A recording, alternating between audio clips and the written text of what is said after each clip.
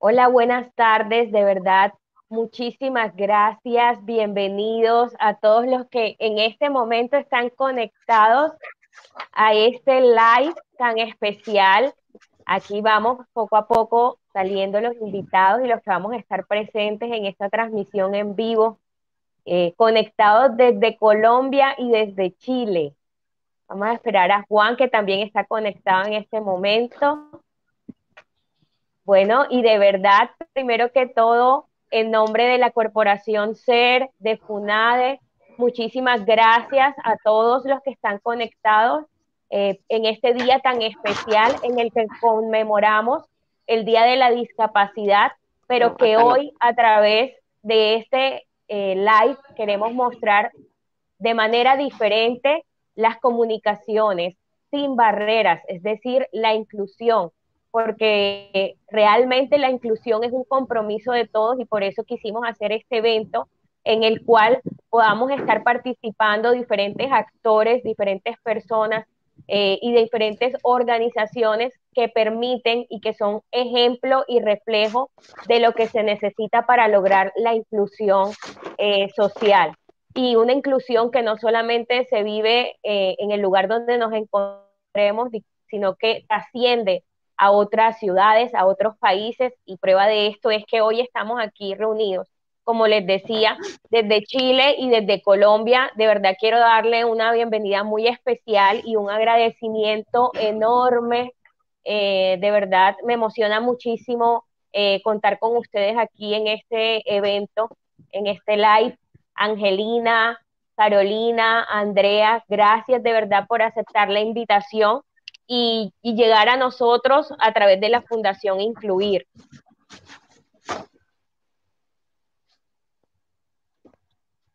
Y por para mí, para mí también es un eh, para mí también es un gusto hablar con ustedes de saber sobre lo que yo hago, de lo que trabajo y también darle la experiencia que hay mucha gente que sí puede trabajar aunque tenga discapacidad. Que no tengan miedo, en, no tengan miedo, sino que hágalo, de hacer bien a las personas. Así es, y eso es lo que nos vas a contar. De verdad, muchísimas gracias, Carolina. Juan Javier, de verdad, muchísimas gracias a ti también, en nombre, pues representando a FUNADE, la Fundación de los Colegios de la Arquidiócesis de Barranquilla, eh, por estar aquí presente, porque ustedes son un referente en lo relacionado con la educación inclusiva y de verdad que es muy interesante que cuenten ese modelo, esa manera en la que vienen trabajando y como te decía, pues es ejemplo para las demás instituciones y pues obviamente a nivel educativo. Muchas gracias Margarita y a todos los que nos están acompañando en el día de hoy, en esta transmisión, eh, a propósito del, del Día Mundial de la Discapacidad, porque a veces necesitamos empezar a, hacer visible todas estas situaciones y todo lo que venimos trabajando en pro de las personas que están en alguna condición eh, de estas. Así es. Bueno, y para empezar, eh, un segundo, escucho aquí un poquito de feedback, pero bueno, ya. Bueno, para empezar, eh, queremos abordar el tema de la inclusión laboral y el desarrollo de capacidades para las personas con alguna discapacidad. Em, por eso le colocamos de nombre a este live eh, Comunicaciones sin Barreras, Inclusión, un compromiso de todos. Y eh, quisiera presentar eh, de manera más amplia un poco, contarles acerca de la Fundación Incluir, que pues es una fundación ubicada en Chile y que desde hace 15 años eh, cuenta con nuevos espacios de inclusión laboral para personas con capacidades intelectuales diferentes. Eh, son líderes y han desarrollado muchas eh, actividades, muchas estrategias, generado muchos espacios que muestran todo lo relacionado con la inclusión laboral y generar espacios donde estas personas pueden desarrollar sus capacidades, sus habilidades, sus talentos para finalmente lograr eh, sus objetivos y sus propósitos. Eh, para hablar de la Fundación Incluir, tenemos como invitada a Angelina Merino, que pues ya la saludábamos ahorita. Y Angelina es la fundadora y actualmente la directora ejecutiva de la Fundación Incluir.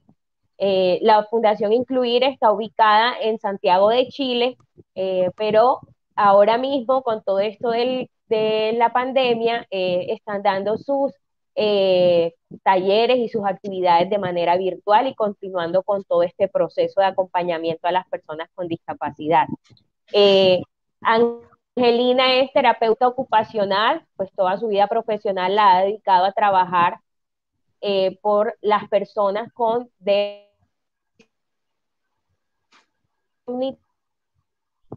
y bueno, aquí viene a contarnos toda esta experiencia interesante que se viene realizando eh, en la Fundación Incluir.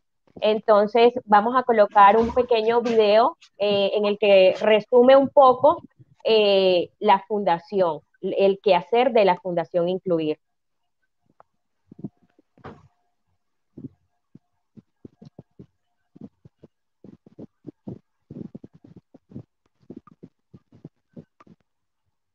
Nosotros como fundación nos preocupamos de capacitar a los jóvenes para incluirlos social y laboralmente.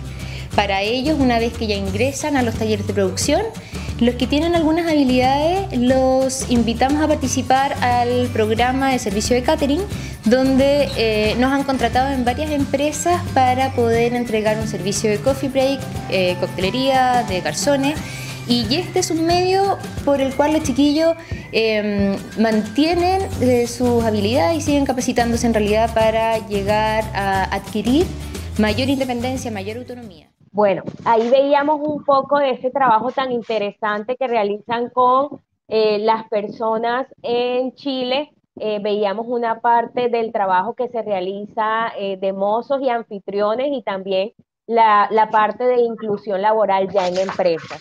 Pero para, hablar como en detalle, eh, Angelina, te quería preguntar eh,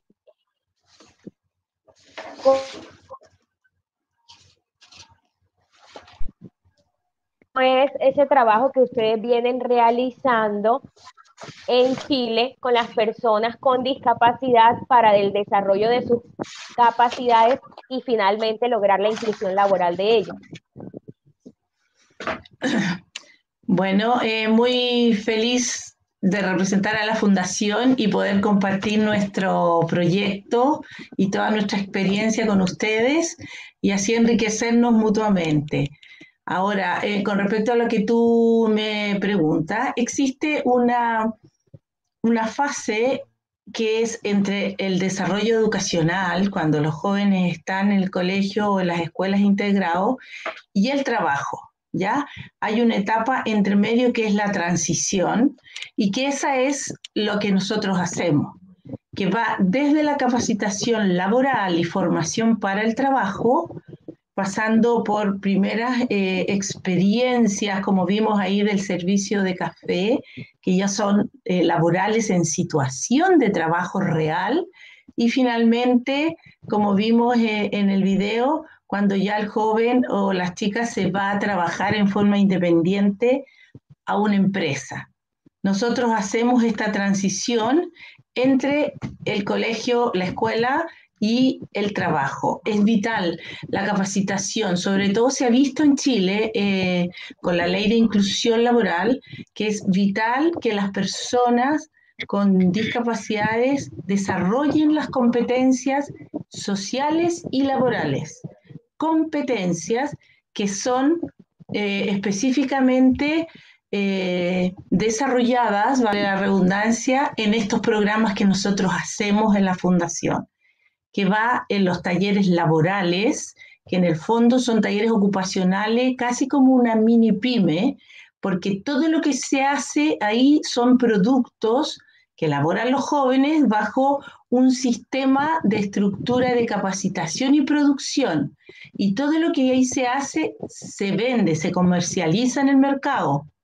Y, se, y se compite en el mercado en precio, en calidad, etcétera Entonces, cada taller, que hay uno de artesanía, hay otro de repostería, que ustedes vieron ahí los alfajores, uno de los productos, y hay otro taller que se llama de hierbas y caléndula, basada la caléndula. En estos talleres ocupacionales los jóvenes se capacitan y se forman. Y también en, después en el taller de, de servicios de mozos para eventos.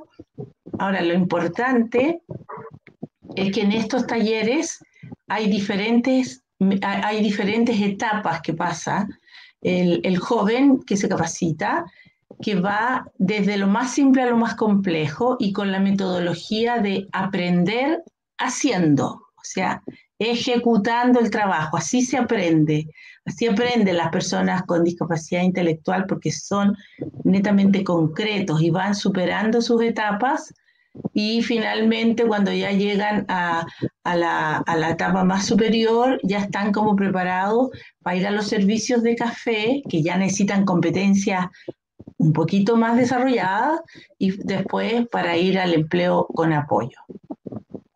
Ok, por, eh, por lo que nos cuentas es un, es un trabajo que se realiza en el que eh, teniendo en cuenta la parte del déficit cognitivo o de la discapacidad cognitiva, eh, hacen un acompañamiento de, darles el, aprender, pero el que ellos enseguida pongan en práctica eso que están, están aprendiendo.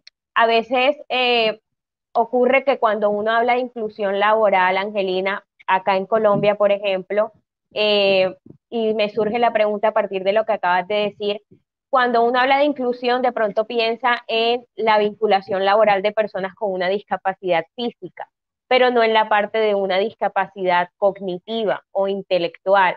Em, ¿Cómo hacen ustedes ese trabajo eh, para de pronto no cambiarle el chip, sino para mostrarle a las empresas y también a las mismas personas con discapacidad y a sus familiares que sí pueden aprender un oficio, que sí pueden vincularse laboralmente porque son como conceptos que de pronto se tienen erróneos o la manera en la que estas personas han ido creciendo, evolucionando, que de pronto no pudieron terminar un bachillerato, no pudieron terminar una primaria, entonces eh, piensan que no pueden desarrollar algún, eh, alguna, alguna competencia. Eh, siempre basado en las competencias, eso es súper importante, las competencias sociales y laborales o las competencias blandas, las sociales, que nosotros le llamamos también así.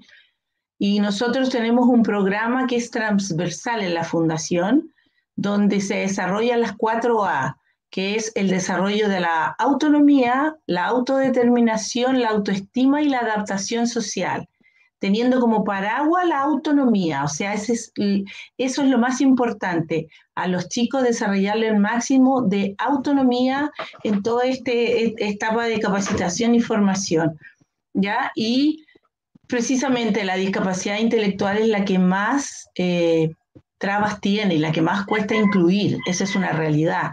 ¿Por qué? Porque hay muchos prejuicios, hay mucho sesgo y eh, Ahora, ¿cómo, se, ¿cómo nosotros incluimos o cómo se incluyen las personas? Primero que nada, la empresa tiene que tener un puesto laboral que se acomode al perfil del joven, ¿ya? Ahora, este puesto laboral es importante que sea algo que realmente la empresa necesita, no que le inventen un puesto para atraer a una persona eh, con discapacidad, por, porque ahora nosotros tenemos una ley que del 21.015 donde lo, hay una ley de cuotas de un 1%, ¿ya? Pero súper importante eso, el, desarrollar las competencias sociales y laborales y tener la posibilidad de un puesto de trabajo, hacer nosotros el análisis de ese puesto de trabajo y eso intermediarlo con el perfil de los jóvenes que nosotros tenemos. Y ahí uno busca la persona más adecuada. Y ahí es mucho más fácil y más eh, posible de tener éxito. Gracias a Dios nosotros tenemos éxito porque tenemos, es muy individualizado este proceso, se acompaña a la empresa, se sensibiliza y al joven se lo acompaña por lo menos por un año, se le enseña en el puesto de trabajo por un preparador laboral de nosotros y así sucesivamente se va haciendo otras inclusiones. Ok, perfecto. Entiendo cómo, cómo van realizando ese acompañamiento.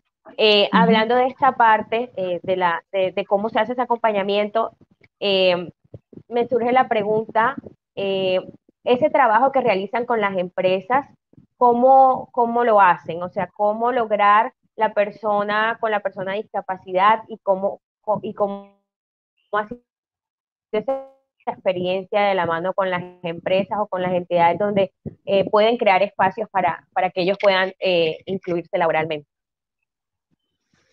se cortó un poquito, entonces no te entendí toda la pregunta, pero eh, eh, ¿cómo logramos contactarnos con las empresas, entendí, y para incluir a las personas y que permanezcan en su lugar? ¿Ah? Eh, más que todo es cómo es ese trabajo entre la empresa y ustedes como fundación y cómo ha sido esa experiencia. Muchas veces las empresas nos contactan a nosotros porque buscan y ellos quieren eh, buscar personas, incluir a través de la ley o antiguamente las empresas tenían eh, dentro de, de, su filosofía de em, empresarial el incluir a las personas diversas, ¿ya? Ahora hace dos años hay una ley que eh, hace que las empresas contraten personas con discapacidad en un 1%. Entonces las empresas te contratan, te conectan y ahí uno va conversando con cada una y va viendo cuál es la persona que podría estar disponible para esos trabajos. Em, y ahí se hace todo el proceso. Finalmente el ideal es que hayan por lo menos dos o tres personas que postulen a ese puesto para que la empresa realmente pueda entrevistar, hacer el, el, ¿cómo se llama? las evaluaciones y poder elegir la persona que es más competente para el cargo que ellos tienen y de acuerdo al, perfil del joven y, al análisis de puesto de trabajo que, tienen ellos. Ok. Eh, pues de los proyectos que ustedes tienen que es bastante interesante es el servicio de Coffee Break eh, con las personas eh, que ustedes capacitan para luego desempeñar este servicio.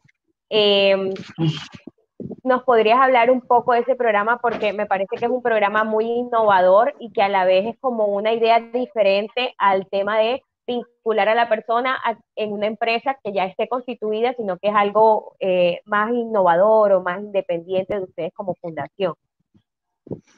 Sí, este programa es nuestro programa estrella en realidad, que nosotros comenzamos desde el año 2005, prácticamente cuando empezamos, muy paso a paso, paso a paso, eh, y que consiste en, el fondo en que los jóvenes que tienen las competencias eh, necesarias eh, pertenecen a este programa y nosotros hacemos contacto con empresas, nos piden o nosotros ofrecemos a través de la página web todos nuestros servicios de mozos, de anfitriones y todos los servicios de coffee break o de coctelería, etc. Y los jóvenes van a estos eventos y se van desarrollando propiamente tal durante el evento, porque se capacita haciendo, como decía yo, van con las supervisoras que están eh, también capacitadas y se coordina todo este evento nosotros tenemos algunos productos que los hacemos nosotros, todo lo que es repostería, y otros productos que los encargamos a, una empresa de banquetería que trabaja con nosotros cuando son cócteles, etc. Los jóvenes aprenden el montaje, desmontaje, a servir, eh, la relación con el cliente, a, cómo ofrecer, ir impecables, a llegar a la hora, estar... Eh, atentos, ¿ya? Hay todo un, desarrollo de competencias que se, va, que se va viendo y que se va desarrollando con cada joven. Y es un verdadero trabajo part-time, porque es en situación real de trabajo y a ellos se les, se les paga por su trabajo igual como precio mercado, ¿ya? Como, se, como trabajaría cualquier otra persona. Entonces, el, ese es el apronte al empleo con apoyo. Y ahí eso nos permite también ir viendo los que son más independientes, los que tienen más los perfiles de cada uno, exacto. Y eso a ellos les realmente los motiva mucho porque es un trabajo real fuera de la fundación. Claro, y como decías, como decías tú, les va desarrollando como otras habilidades, otras competencias complementarias al aprender a hacer algo. Em, en esa parte de desarrollar otras competencias y de las cuatro A que tú mencionabas al principio, la parte de, autonomía, la parte de autoestima, de autodeterminación, eh, ¿cómo se trabaja de la mano con los padres de familia o con cuidadores? Te hago esta pregunta porque eh, hemos tenido al interior de nuestra fundación y también cuando hemos hecho de pronto algunas otras actividades, los padres de familia o eh, los, los, cuidadores se preguntan eh, cómo, cómo desarrollar esa parte y cómo acompañar a la persona con discapacidad a eh, fortalecer la autonomía. Ese es un, es un programa transversal, como yo te decía, en la fundación, que la autonomía es lo más importante, el poder eh, tener independencia, el poder decidir, el poder hacer las cosas de forma eh, autónoma y con seguridad. Pero es todo un proceso, ¿ya? Es un proceso y nosotros dentro de nuestros talleres se evalúan todo, a cada joven se le evalúa, se le hace un plan de trabajo individual para el año, ¿ya? Y en ese plan de trabajo individual están las metas sociales y laborales que tiene que desarrollar. Entonces estamos todos enfocados en ese desarrollo de autonomía y eso se habla también con los padres para también hacer el, refuerzo en la casa y en, en conductas que necesiten eh, ese desarrollo. Es transversal, también tenemos talleres que yo no los nombré, que son los talleres de desarrollo personal, que son en la tarde, en la jornada alterna, y hay talleres de arte, talleres de artes escénicas, de danza, talleres de, mm, eh, de educación física, taller de manualidades. Hay varios talleres que también trabajan todo esto en sus diferentes especialidades, toda la parte de la autonomía y que es transversal. Y eso se evalúa en cada taller y de ahí uno saca eh, cuáles serán las metas de acuerdo a la gradualidad que cada joven tendrá que trabajar junto a su familia, etcétera. Ahora, nosotros también trabajamos mucho la autonomía eh, en, dentro de la fundación en el sentido de que ellos decidan, ellos también lleven las comunicaciones verbales o de algún tipo a su casa, eh, tratarlos ya como, como que estuvieran en la universidad, ¿ya?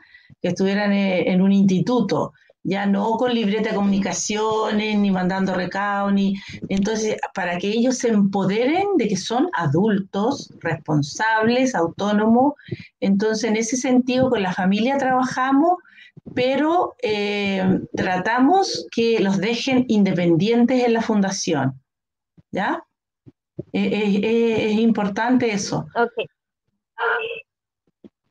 Okay. Ahora que hablabas de esa parte de, que ellos pasen el tiempo en la fundación y desarrollen de pronto esos espacios, eh, también desde, desde los programas, eh, no, no, solo de capacitación, sino desde el desarrollo, eh, ¿cómo, ¿cómo hacer, no sé si ustedes en la fundación tienen personas con discapacidad cognitiva severa o de pronto moderada? Que eh, muchas veces las familias buscan una institución donde ellos puedan eh, estar durante el día. Eh, pero realmente, pues desde nosotros como fundación que trabaja con estas personas, no queremos que sean espacios para que ellos pasen el tiempo, sino que aprovechen el tiempo y de verdad hagan cosas que, que ellos aprendan o, o, cosas que a ellos les gusten. ¿Cómo, ¿Cómo recomiendan realizar ese acompañamiento a esas personas eh, y qué, qué, espacios consideran ustedes que podrían generarse para esas personas que de pronto la discapacidad es mayor eh, y, y que, que a la final podría ser un tiempo de aprovecharlo? Bueno, todos los jóvenes tienen capacidades, todos, tengan una discapacidad severa, media o limítrofe. Nosotros como Fundación Incluir no excluimos a nadie por, por su dotación intelectual. Solamente tiene que ser eh, independiente como para ir al baño, comer, las actividades básicas. Y también tenemos eh, jóvenes que son súper independientes, que salen, se van solo, entran solo. O sea, hay una diversidad. No solo en la parte intelectual, sino también en, edad. Tenemos hasta de 60 años una, una chica. ¿Ya? Entonces, eh, es importante que todos... ¿Ves? Claro. Entonces es súper importante esa diversidad dentro de la misma fundación, ¿ya? Porque unos eh, son monitores de otros o son los que los acompañan en, alguna, en, algunos momentos. Ahora, ¿qué es lo importante en esta diversidad? De que cada uno tiene su plan específico, entonces todos están realmente ocupados en los talleres, tanto ocupacionales como los talleres de desarrollo, Aquí nadie va a perder el tiempo, se queda sin hacer nada, porque aquí no hay tiempo de ocio. Además, lo importante es que ellos deciden en qué taller estar. Como fomentamos la autodeterminación, ellos deciden en qué taller van a trabajar, si en repostería, si en hierba, si en artesanía. Y como ellos deciden, son más responsables porque están motivados, ¿ya? Entonces, como están motivados, ellos eh, logran eh, mejores resultados también, porque ellos lo, eligen. Y a fin de año, los que van a seguir al otro año no se han ido o, no, se han, no se han incluido, eligen nuevamente si quieren seguir en el que estaban o se quieren cambiar. O sea, e, es, así como vamos eh, respetando mucho las decisiones que ellos toman precisamente para fomentar la autonomía, la autodeterminación y para que esté motivado y si uno está feliz con lo que trabaja, qué mejor. Claro que sí. Entonces no hay, no hay eso de que van a pasar el tiempo. Allá nadie pasa el tiempo, o sea, están en el tiempo, pero están siempre trabajando, eh, eh, están activos, siempre, siempre activos, sí. Qué bueno. Bueno, y, y hablando de trabajo activo, ahora mismo en este tema de que estamos ante esta pandemia, eh, ¿cómo ha sido el trabajo que han realizado con ellos eh, a nivel eh, de, virtualidad? Bueno, eso fue un gran ah, desafío, como lo ha sido para todos. como ha sido para todos los que trabajamos en esa área, ha sido un gran desafío porque se han, eh, formado talleres que no estaban antes, ¿ya? Eh, en el sentido de que, de que tuvimos que hacer cosas que se pueden hacer en la casa también, ¿ya? Ahora, eh, tenemos dos o tres talleres diarios que son a través de Zoom, a través virtual. Ellos participan en los que quieren participar, pero lo importante es que los que ellos se han inscrito y están participando tienen que respetar todas las normas del taller, ¿ya? Entonces hay, por ejemplo, un taller de, arte, hay un taller de danza, hay una educación física, de formación para el trabajo, de empleo con apoyo, que es el, de el, de, el, final, digamos, que tenemos, el de manualidades, de artes escénicas. Hay un taller que se llama Master Chef Incluir, donde se hacen Em, recetas saludables que las pueden hacer en la casa, que no tengan eh, mucho riesgo. otro de, de, arte con, con, útiles reciclados. Entonces, todo esto, y un conversatorio también hay otro día, eh, y todos van participando. Son dos o tres talleres diarios desde abril, porque en abril empezaron, en marzo tuvimos que diseñar todo esto, y ya esto termina ahora el 16 de diciembre y veremos qué pasa el otro año. Y ha sido realmente de resultados maravillosos con los chiquillos, porque han aprendido otras, eh, han desarrollado otras competencias que no se podían desarrollar de la otra forma. Entonces ha sido muy bueno, realmente. Mm. Sí, y también seguramente, eh, además de desarrollar, han descubierto otros talentos, otras habilidades que de pronto no, en la otra modalidad no la, no la habían identificado. Angelina, de verdad, muchísimas gracias por, por, por, esta información tan valiosa que nos estás compartiendo. Eh, como te decía al principio, es un ejemplo y un modelo, eh, ustedes como fundación a seguir a nivel de todo este trabajo de las personas con discapacidad, que yo, yo sé que ustedes, el término de las barreras o de la discapacidad no es el enfoque, sino que ustedes se enfocan en la parte de las capacidades y de las habilidades de estas personas. Eh, a propósito de habilidades y de, y de talentos. Eh, tenemos en el día de hoy, en el live, como invitada a una persona muy especial de la Fundación Incluir. Vamos a pedirle a Luis eh, que le dé el ingreso, por favor, a Carolina Benhart, quien nos acompaña también hoy acá en el live de, en el marco del Día de la Discapacidad. Luis.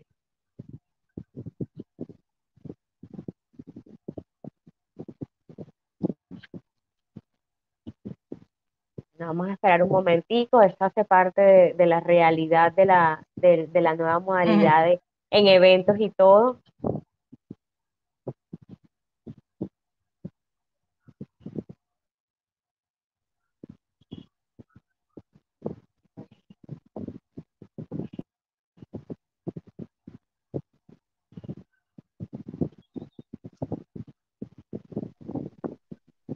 Ahí está. Hola Carolina. Hola, buenas tardes, ¿cómo están? Muy bien, muy bien. Gracias nuevamente por acompañarnos, por aceptar la, la invitación y por venir acá a contarnos un poco sobre ti. Tú haces parte de la Fundación Incluir, eh, ya llevas varios años haciendo parte de la fundación y actualmente estás trabajando en Cencosur. Bueno, cuéntanos un poco de ti, cómo llegaste, Carolina, a ser parte de la Fundación Incluir.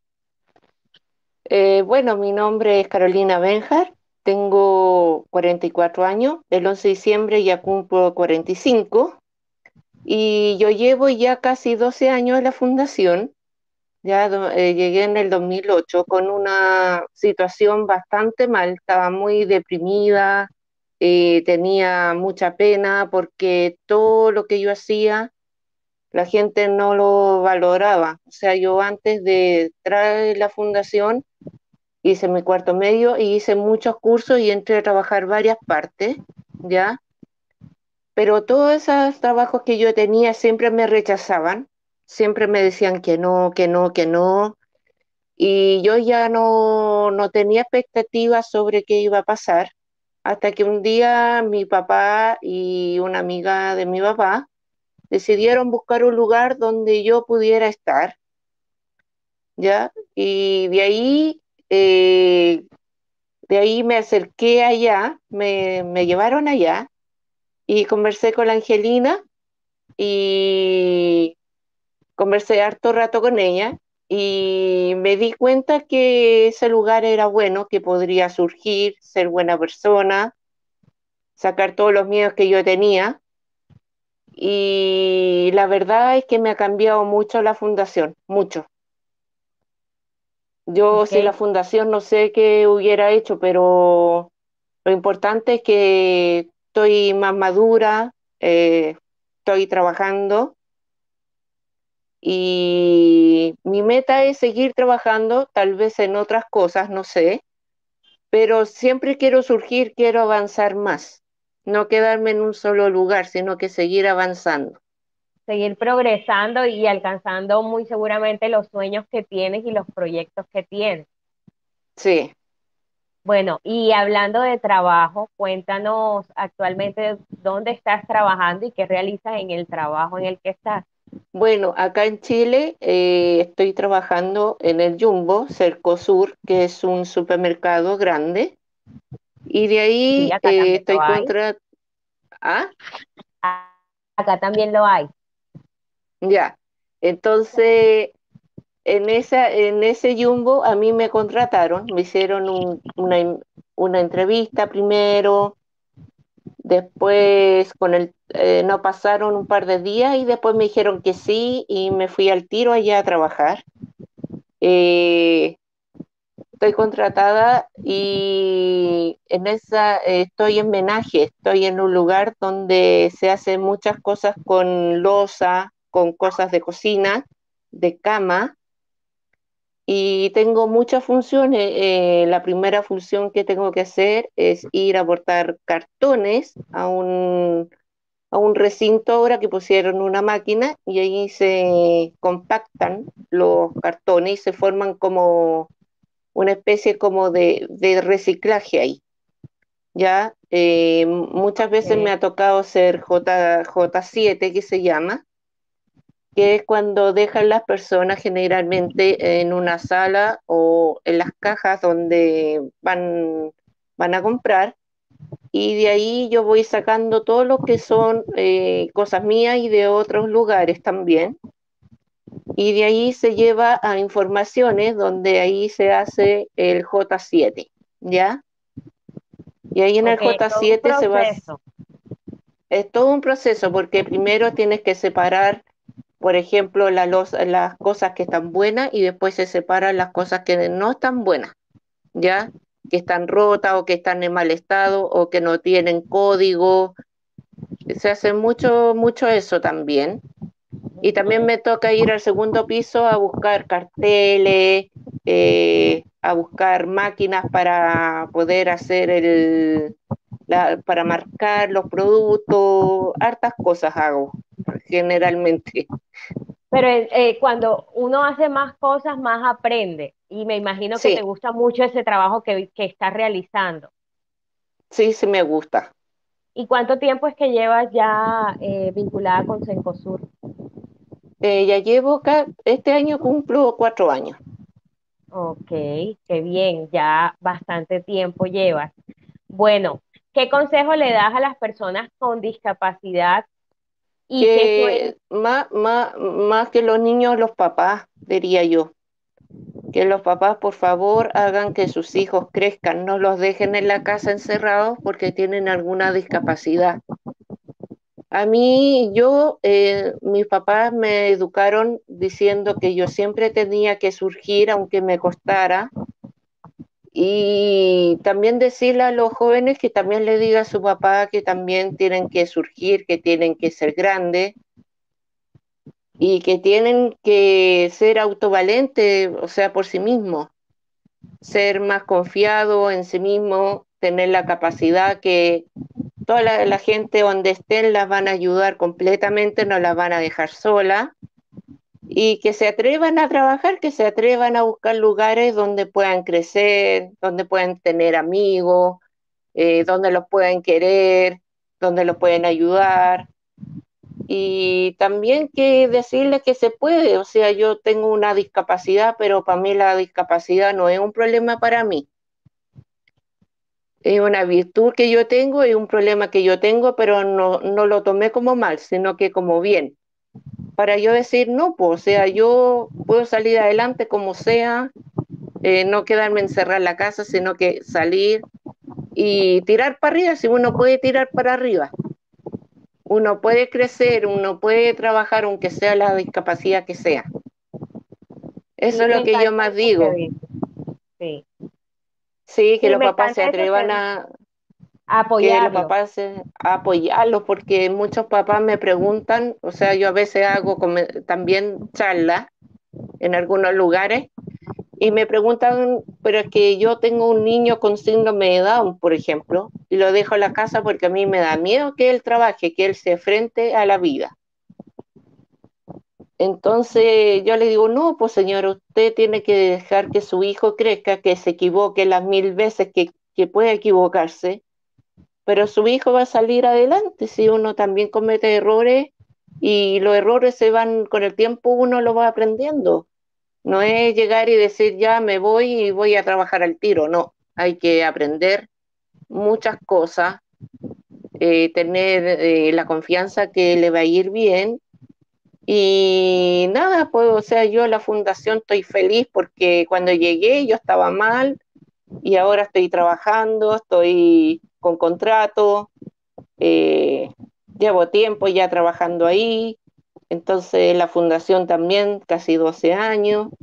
Entonces, no, no quiero que los niños queden, queden encerrados en sus casas porque los papás tienen miedo, no, nada que ver. Yo pienso que los papás tienen que... Hay papás que tienen miedo y otros que no, pero lo más importante a los chiquillos y a, y a los papás que tengan, tengan la seguridad que los niños les van a ir bien. Y si fracasan una, dos, tres, no sé cuántas veces, pero si no les resultan las cosas, habrá otras cosas que sí le pueden resultar. Entonces, No hay, para mí no hay barrera, para mí no hay nada de eso. Y me encanta mi trabajo, me encanta la fundación y nada, yo le agradezco mucho a la fundación, siempre se los digo. Porque... Qué motivador, qué motivador Carolina escuchar de eso y escuchar algo eh, que a veces uno cree que es tan básico, pero que uno a veces no lo, no lo recuerda. Y es el que los problemas son para afrontarlos y para superarlos. Y en lo que nos estás diciendo es básicamente eso, eh, que, que, los problemas, todos los seres humanos los tenemos. Eh, la actitud y el cómo nos lo afrontamos, ya eso es de cada, de cada persona. Y de verdad, eh, el que estés hoy aquí con nosotros y nos cuentes toda esta experiencia, todo, todo lo que es para ti, lo que significa. Y puedo contar lo que tengo también por aquí. Y puedo contar mi, mi, discapacidad. Eh, claro. mi, discapacidad se llama síndrome de Williams, que es una condición porque hay un cromosoma, que es el, el cromosoma 7, que cuando uno se forma eh, siempre eh, se, sale, no está ahí en el código de ADN, se sale, entonces eso produce que, por ejemplo, yo eh, sea un poco más lenta, me cuesta mucho de repente caminar porque me canso un poco. Hablo con la gente así normal, yo me considero normal y la gente también. Entonces son, son cosas muy leves que yo tengo y yo nací así y soy así, pero siempre salgo adelante y eso me gusta mucho. Y no tengo problema en decir que, que la gente que tenga discapacidad que se atreva, que se atreva a trabajar, que se atreva a sentirse bien, buena persona, sentirse grande, sentirse fuerte. Eh, eso no más puedo decir. Gracias Carolina, de verdad, por, por contarnos eh, pues también de, de, de, la discapacidad que tienes, de, contarlo en, confianza y abiertamente y por eh, darnos un ejemplo. De verdad, muchísimas gracias nuevamente por aceptar la invitación. Eh, quiero agradecer también a Angelina por, por, por habernos acompañado. Angelina, Carolina, de verdad, muchísimas gracias. Eh, eh, Gracias a ustedes. Muy enriquecedor lo que nos cuentan. Yo sé que es información valiosa, no solamente para las personas con discapacidad, sino con las diferentes personas que interactúan en este mundo, las familias, los amigos, las personas de empresa, eh, pues toda la sociedad en sí. Que les vaya muy bien en su nueva sede, que sea un éxito, lo que necesiten, lo que quieras. Margarita cuenta con nosotros, con la fundación, con todo su personal, con su equipo, porque aquí estamos para enriquecernos, para ayudarnos y para hacer efectos multiplicadores de lo que podemos entregar y, darle, si ustedes así lo requieren. ¿Ya? Lo mismo ustedes con nosotros. Muchas gracias por la invitación. Bueno, de verdad, muchísimas gracias a ustedes. Bueno, y ahora eh, para finalizar este programa tan interesante, este live eh, sobre inclusión, un compromiso de todos en el marco de el Día de la Discapacidad, quisimos hacer un evento totalmente diferente eh, para conmemorar esta fecha y quiero darle eh, la bienvenida y un saludo muy especial a Juan Javier Jiménez, quien es el director de gestión educativa de eh, FUNADE. Él nos va a hablar de todo este modelo de educación inclusiva que vienen trabajando ya desde hace varios años en FUNADE. Juan, hola, bienvenido. Hola Margarita, ¿cómo estás? una, antes de comenzar, está desubicada en la cámara, entonces para que te ubiques, realmente se te ve una parte de la cara. ¿Cómo así? Eh, en la, eh, eh, estás media en la, en la, en la, en la pantalla. No, pero Luis, confírmame. Aquí me están diciendo que se ve bien. Ah, ok, entonces debe ser mi, mi, Luis me confirma. pantalla. Ahí es, Luis, ¿me confirmas porfa por, por, por chat que si hay algún problema con mi más? Ok. Bueno, ah, eh, Juan, eh, bueno, aquí dice que Juan Luis que está bien, de pronto es un tema del equipo. Bueno, eh, Juan, eh, como lo mencionaba al momento en que te estaba presentando, quisiera que nos contaras un poco acerca de, ese trabajo que FUNADE viendo haciendo, viene haciendo en educación inclusiva y cómo ha sido ese trabajo, porque es un trabajo que no es solamente eh, del docente y de la persona con discapacidad, sino que es un trabajo en el que interactúan los demás, las demás personas que trabajan en la institución, los padres de familia, los compañeros de clase. Entonces nos gustaría que nos contaras un poco acerca de este, de este trabajo que vienen realizando en educación inclusiva en FUNAD. Bueno, el trabajo lo llevamos más de hace aproximadamente cinco años atrás, o desde hace más de cinco años, en donde hemos venido trabajando eh, con los chicos eh, con diferentes eh, condiciones. Desde la parte de gestión educativa hemos tratado de articular lo que viene siendo los temas de discapacidad, lo hemos llevado a un tema o de necesidades educativas especiales, que es lo que más o menos se maneja en la parte de educación, y lo hemos tratado de llevar eh, a una esfera un poco más alta que viene siendo las barreras de aprendizaje y participación, que esto es un tema que ah, tiene poco tiempo de estar en vigencia eh, y donde nosotros empezamos a trabajar lo que viene siendo adaptaciones curriculares, en donde, viene, eh, donde se viene eh, trabajando muchas actividades para poderle beneficiar a toda la población que está en esta condición de discapacidad.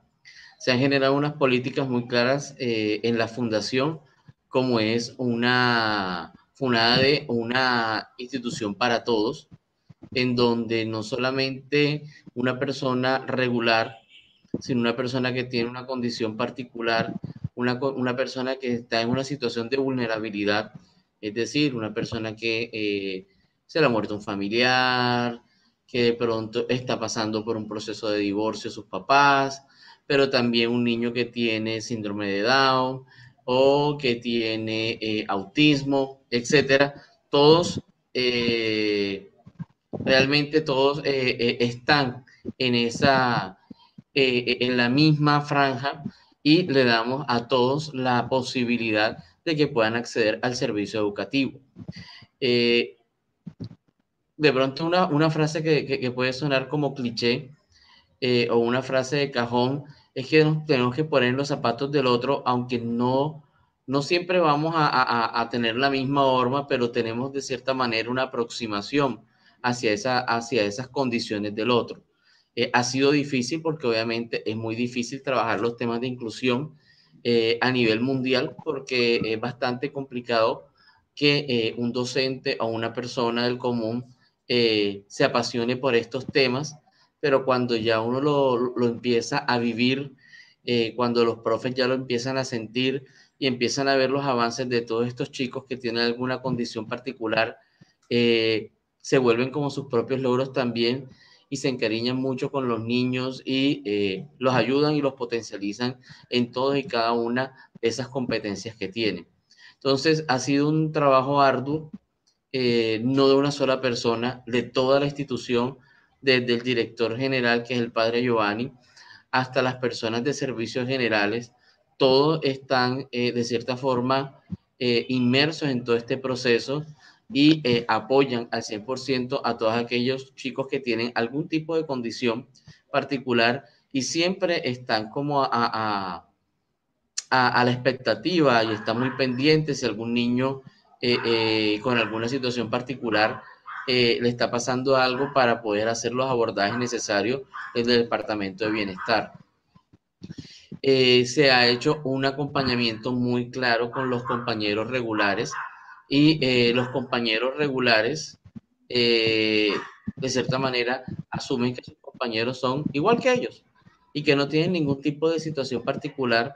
Hemos trabajado un programa de apadrinamiento que aquellos niños que eh, son regulares y que de pronto son un poquito más juiciosos, por llamarlo de alguna manera, que son un poquito más aplicados, los colocamos de padrinos de aquellos niños que tienen alguna condición particular, con la finalidad de que ellos también los acompañen y desde los pares, los chicos que tienen alguna dificultad puedan seguir avanzando.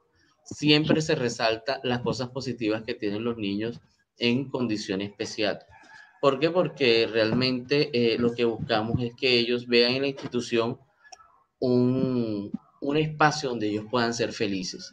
Si ellos son felices, si ellos se sienten bien, si ellos se sienten que son aceptados, obviamente eh, van a empezar a evolucionar y van a empezar a generar una gran mayor cantidad de competencias que le van a servir no solamente para las interacciones sociales, sino también cuando ya salgan a la vida productiva. Entiendo. Eh, me, resulta interesante lo, lo que decías, más por el hecho de que a veces pasa eso. No conocemos, no hemos vivido la experiencia, nos predisponemos, pero al momento de ya vivir la experiencia, y creo que eso les ha pasado en muchas ocasiones en FUNADE, eh, se dan cuenta de que esas personas los llegan a sorprender y a superar las expectativas que inicialmente eh, se tenían con esas personas en el tema de educación y de hecho en el tema de su desarrollo en general.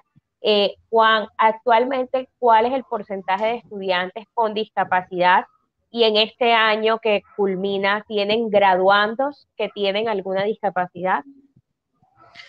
El porcentaje es aproximadamente entre el 5 y 10%, porque como tú misma eh, comentas, eh, empiezan a salir estudiantes y en algunas cortes hay estudiantes que se han graduado con una condición especial. Y lo más interesante es que hasta los mismos compañeros cuando se gradúan, y eso fue una, eh, eh, una situación bastante particular que pasó el año eh, anterior, un chico que tenía síndrome de Moebius y pie abaroquino, era un niño que era muy desordenado con los demás compañeros y cuando él fue, y fue un grado y fue mucho esfuerzo que él pasó para poder graduarse. Cuando él recibió el grado, todos los compañeros empezaron a aplaudirlo, pero no lo aplaudían de, burla, sino lo aplaudían eh, eh, de cierta forma como, como diciéndole, hey, mira, este, pudiste eh, terminar tu año, te, graduaste con nosotros, qué chévere, ¿ya? Y en, en, este año, en uno de los colegios en San Pancracio, se graduó un niño con discapacidad cognitiva. Fue muy emocionante porque en el día de ayer y en el día de hoy estuvimos repartiendo los, los, los diplomas y cuando le entregamos ese diploma ese chico se puso a llorar de la emoción porque él veía como algo imposible eh, que pudiera eh, de cierta forma tener su título como bachiller. y es de pronto lo bonito, o sea, ya tiene su título de bachiller, eh, la idea es que tampoco se nos pierda del radar y podamos seguir haciendo un acompañamiento desde la fundación, igualmente con, con, ustedes en SER, con la finalidad de poderle dar la oportunidad que se pueda vincular laboralmente en alguna entidad, porque eh, es un chico muy productivo, muy juicioso, muy aplomado, a veces como cualquier otro eh, estudiante adolescente, no cumple con sus compromisos. Eh, pero necesita también mucho acompañamiento para poder seguir adelante. Y como te decía, fue muy bonito, eh, eh, a mí también me conmovió bastante el hecho de que estaba llorando porque ya se siente como que, hey, qué rico, pude cumplir una de las metas que yo tenía, que las veía imposible, pero que sí las pude lograr.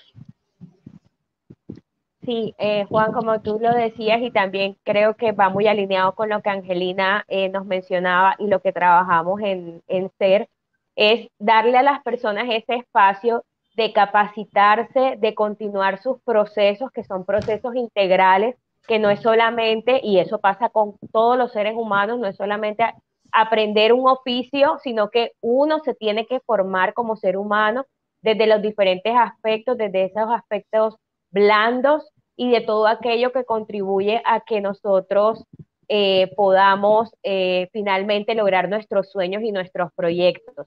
Eh, ahora al finalizar voy a colocar el video, Juan, de ustedes en el que hablan varios chicos que hacen parte de FUNADE y con los que se viene trabajando toda la parte de educación inclusiva. Eh, quiero darle entrada a Angelina, que todavía nos acompaña eh, en, el, en el set para pues darle pues ya despedirnos un poco. Mm, no sé si Carolina todavía está. Carolina me preguntó que ya se había despedido, así que si se salía yo le dije que sí, porque no sabía. así que parece, no sé si, si, no creo que vuelva, no. Mm, bueno, igual, eh, ahí está, Carolina llegó. Súper. Bueno, eh, de verdad, eh, para nosotros como fundación que trabaja con las personas con discapacidad, ha sido muy grato compartir este espacio con ustedes, aprender de ustedes, tanto de Angelina como de Carolina y por supuesto de Juan. es un trabajo, como lo dice el nombre que le dimos a este live, eh, inclusión, compromiso de todos, es un, es un interactuar de todos eh, y es una, labor que poco a poco se van alcanzando los objetivos porque realmente en el mundo estamos eh, apenas en ese caminar de lograr la inclusión de las personas con discapacidad, el hacerles el acompañamiento para que puedan desarrollar sus competencias y alcanzar sus sueños. y de verdad, muchísimas gracias en nombre de todos los jóvenes de SER que yo sé que están aquí conectados, de sus familias, de los directivos de SER, de, de también de todos los que están conectados desde Chile. De verdad, muchísimas gracias por conectarte a esta hora. Ya ya es un poco más tarde, dos horas más tarde. Eh, y bueno, eh, Juan, de verdad también a todo el equipo de FUNADE por, por haber aceptado esta invitación y reconocerles ese trabajo invaluable que vienen realizando. Y Carolina definitivamente sigue con esa actitud tan positiva que definitivamente yo creo que nos contagió a todos los que estamos aquí. Eh, y, me queda aquí en la mente, los problemas todos se pueden solucionar. De verdad, Carolina, muchísimas gracias. Y bueno, acá bienvenidos en Colombia, por en FUNADE, yo sé que, Juan y, y mi persona los recibimos con gusto y bueno, nosotros con ganas de volver a Chile. Ay, ojalá que puedan venir. Y bueno, ahí quedan las redes sociales tanto de FUNADE como de Fundación Incluir y de SER para que nos sigan y conozcan de todo este trabajo que vienen realizando. Muchísimas gracias a todos los que se conectaron. Eh, tuvimos muchos comentarios positivos. Eh, y bueno, pueden seguir viendo eh, esta transmisión y de compartirla porque va a quedar colgada en cada una de las redes sociales, tanto de FUNADE como de Incluir y de SER. Muchísimas gracias feliz noche y de verdad, nuevamente, agradecida con ustedes. Adiós, chao. Chao, que estén bien, chao, que estén bien. Ahora soy Pipe, yo, soy Funare, yo soy, yo, yo, le amo, yo, yo me aman, yo, yo me, me, me aceptan como soy. Mi nombre es Bianca. Soy Silver Down. No soy obstáculo. Soy feliz en mi colegio. Mi nombre es Alicia Plata, soy la madre de Caroline Cárdenas. Acá me la han recibido con respeto y amor, no me la hacen este, sentir diferente me la trasladan de un lugar a otro y me la hacen sentir como una más de la familia. En FUNADE somos Evangelio, somos conocimiento, somos diferentes y vamos camino a la excelencia.